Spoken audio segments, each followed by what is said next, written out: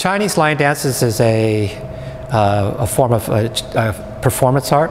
A, it's a cultural performance art.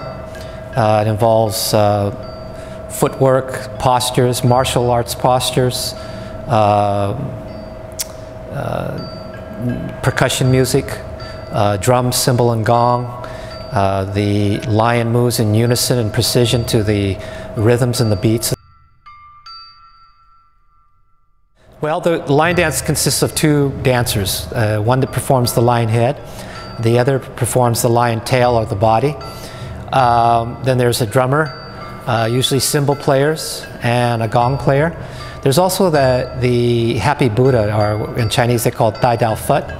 Uh, he kind of is interfaces between the lion and the audience. Uh, uh, basically, guides and leads the lion through the performance, the, the choreography, and uh, uh, shows the, takes the lion through the premises uh, of wherever uh, they're performing at.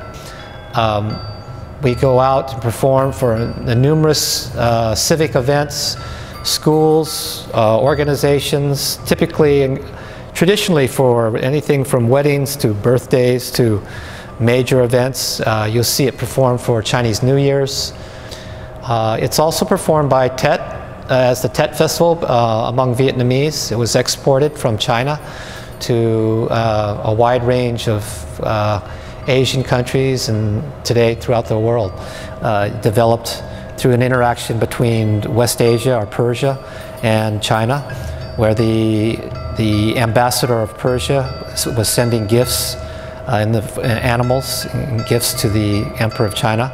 And uh, since lions were not native to China, uh, at some point traders brought lions over through the Silk Road uh, between uh, China and Persia.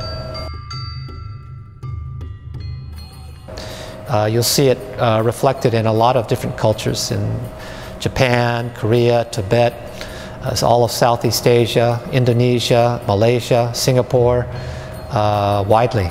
And uh, in fact, after the Cultural Revolution, or during the Cultural Revolution, uh, many Chinese left China and went to these other uh, countries in Southeast Asia and took with them all these traditions.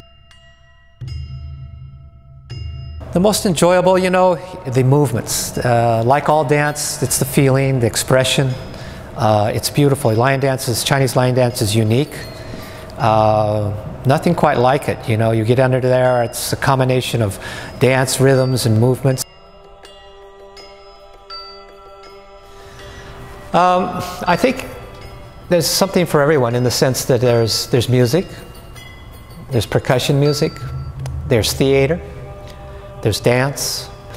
And so that the lion's been able to kind of pro be, provide a, uh, represent part of the culture.